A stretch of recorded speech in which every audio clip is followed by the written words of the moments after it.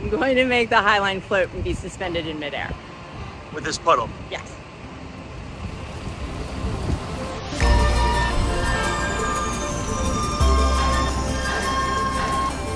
When the rain falls in Manhattan, the umbrellas go up, rain boots go on, and people do all they can to stay dry.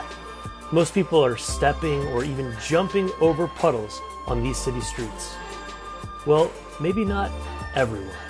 I always say there's a portal in every puddle. So you get to see another world um, and just drop down into it. Best life is a lived life.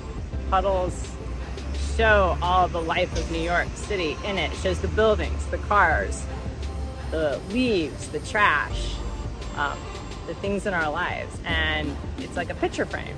And Nancy uses these picture frames to capture photographs of an entire world so many of us miss. No expensive camera, no Photoshop or digital manipulation, just a deep commitment to curiosity.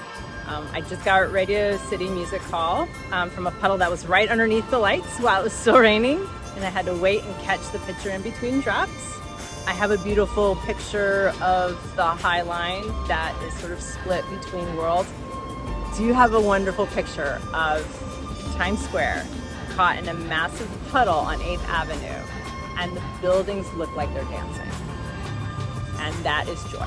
Nature is wonder. A puddle is rain, right? A puddle sometimes is somebody cleaning the street, and you never know which it is. And that that's that's magic and that's beauty. And it's right here every day. Every day it's there, and we forget that it's in the mundane, that the wondrous can always be found in the mundane.